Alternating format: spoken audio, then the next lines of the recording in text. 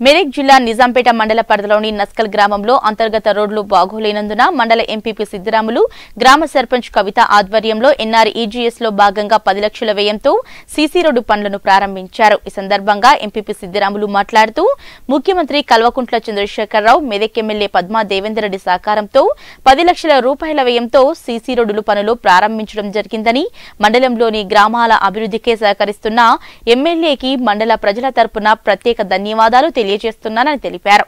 ఈ కార్యక్రమంలో మండల ఎంపీపీ దేశటి సిద్దిరాములు గ్రామ సర్పంచ్ కవిత ఉప సర్పంచ్ తీగల జ్యోతి శ్రీనివాస్ గౌడ్ వార్డు సభ్యులు హబీబ్ నరేష్ నవీన్ నర్సింలు నవీన కళావతి గ్రామస్తులు మురళి పంగారాజు ఎల్లం యాదవ్ తదితరులు పాల్గొన్నారు. నిజాంపేట మండలం గ్రామంలో మరి అంతర్గత రోడ్ల అభివృద్ధి కోసం మరి గౌరవ ఎమ్మెల్యే పద్మచంద్ర గారు మరి నస్కల్కు పది లక్షల రూపాయలు ఇవ్వడం జరిగింది.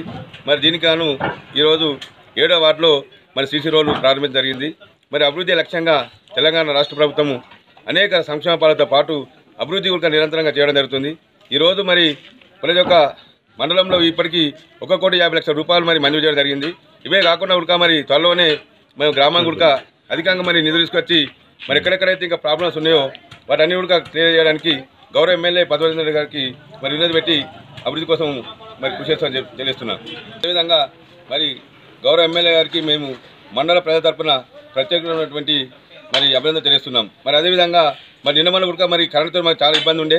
మరి గౌరవ ఎమ్మెల్యే గారికి మరి ఫోన్ ద్వారా సమాచారం ఇవ్వడం ఇచ్చిన వెంటనే మరి ఆ యొక్క సమాచారాన్ని మరి గౌరవ ఎమ్మెల్యే పద్మచంద్ర రెడ్డి గారు మరి మంత్రి గారితో మాట్లాడి మరి ఒక రైతుల యొక్క మరి అభివృద్ధి లక్ష్యంగా తెలంగాణ రాష్ట్ర ప్రభుత్వం పనిచేస్తుంది కాబట్టి దానిలో మరి వెంటనే మాట్లాడి మరి కరెంటుతో ఎలాంటి ఇబ్బంది లేకుండా మరి నిన్న రాత్రి మరి వెంటనే ఆ యొక్క కరెంటు కూడా మరి ప్రాబ్లమ్స్ నుంచి మరి సాల్వ్ చేయడం జరిగింది.